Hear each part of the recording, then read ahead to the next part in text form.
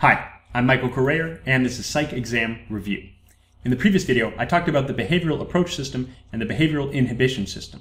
And we looked at the idea that people might differ in these systems, and those differences might cause differences in the expression of personality. But this led us to the question of what's causing differences in these biological systems.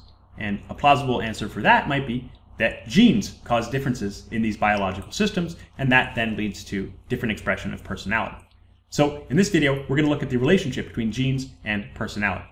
Now, one way that we could investigate this relationship would be to do twin studies. So we could look at different types of twins who share different amounts of genes, so identical twins and fraternal twins, and then we could see how similar are they for different personality traits. And from this, we could estimate the heritability of a particular personality trait. Now, this is something that Bouchard and Loehlin did in a 2001 study, and they looked at the relationship between genes and the big five personality traits, and they calculated the heritability based on twins.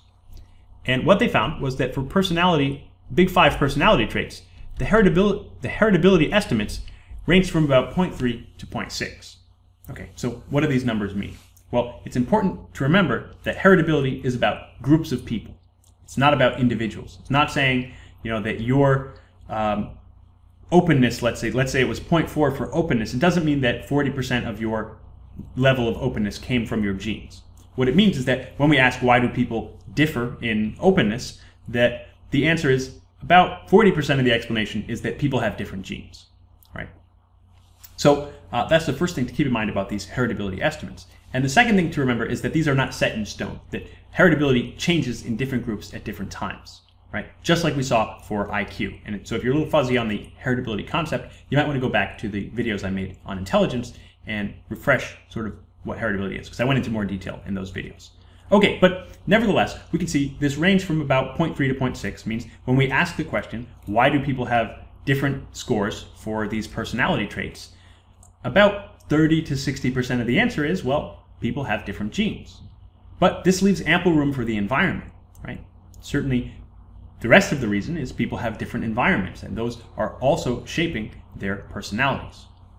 Now, when we think about the role of genes in these uh, heritability estimates for these personality traits, it's also important to remember that these don't tell us anything about specifically how it's happening, right? This isn't saying, oh, it's levels of neurotransmitters, or maybe it's receptors or transporters, or maybe it's hormones. We don't know what the genes are actually affecting to cause these differences. We just know that genes are partly responsible for the difference in personality between people. Okay, now another way we can see differences in personality that seem to be due to genes is looking at temperament. So temperament refers to the personality of very young infants who really haven't had much environmental experience yet. So we see differences in infants in their levels of activity, their levels of sociability, their levels of emotionality. And these differences are apparent from a very young age, right? When they haven't had much environmental difference yet. They haven't had much environment to be influencing them. And we also see these differences between children raised by the same parents. You know, so we can assume those environments are fairly similar, and yet, you know, one child is, you know, very emotional and prone to uh, tantrums and screaming and crying, and the other is a very calm child. And so that would suggest that it's not the, the, the, parental environment that's causing those differences between the children, so it's more likely to be something that's caused by genes. Now, if we start thinking about genes and biological systems as controlling how we express our personality, then that leads us to wonder about animals. Do animals have personalities? Certainly they have differing behaviors, and dog owners might say, yes, my dog has a unique personality totally different from all other dogs. But other people might not be so sure. And then we might wonder, well, if dogs express this, and uh, do cats have different personalities? Maybe cat owners would say yes. Then we might ask, well, what about you know chickens?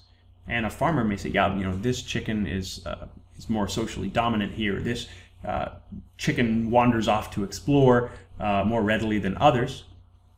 And we can even find differences in big five personality traits for something like an octopus. So what we can do is measure something like openness to experience, and we can measure that by putting an octopus in a new environment and seeing how much they explore. Do they stick to the one area that they sort of know, or do they explore the entire tank? And maybe that tells us something about personality for an octopus. And if we start thinking about the role of biology and genes in personality, then pretty soon we'll find ourselves asking about evolution. What's responsible for the variance in these traits and how has it been selected for over time? So are there evolutionary advantages to certain traits?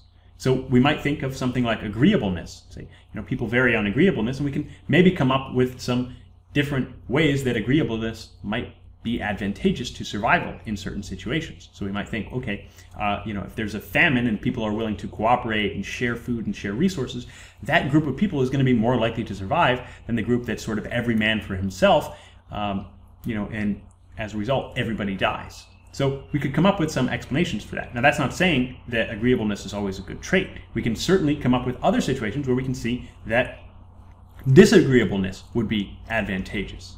And this brings up the idea that um, variance is important. When we talk about traits in evolution, we're generally not going to find that there's a superior trait. It's only superior in terms of the environment that it's in. So sometimes high agreeableness would be a very good thing. Sometimes uh, low agreeableness would be a good thing right? And in this way, we can see that evolution can provide sort of a stabilizing force on certain personality traits where they don't get into this sort of positive feedback loop and become extreme because the extremes are less likely to be advantageous. So if you think of something like sociability, right?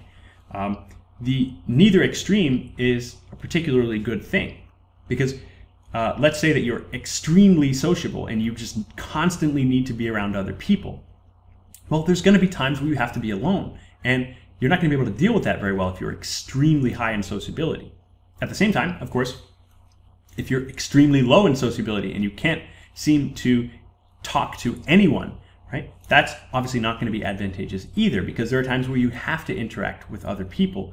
And so what happens is we get this sort of stabilizing where we're pushed away from the extremes to a balance where you know we have uh, something in the middle for these different traits and we could make this same argument for any number of other traits as well right and so we can then think about how the variance in traits that we see is the result of these evolution evolutionary forces okay so uh, that's all the detail we'll go into for genes and personality we're not going to get into specific genes and, and things like that um, but we're going to move on in the next video and start thinking about other ways of looking at personality. And we'll start by looking at a socio-cognitive approach to personality. So I hope you found this helpful. If so, please like the video and subscribe to the channel for more. Thanks for watching.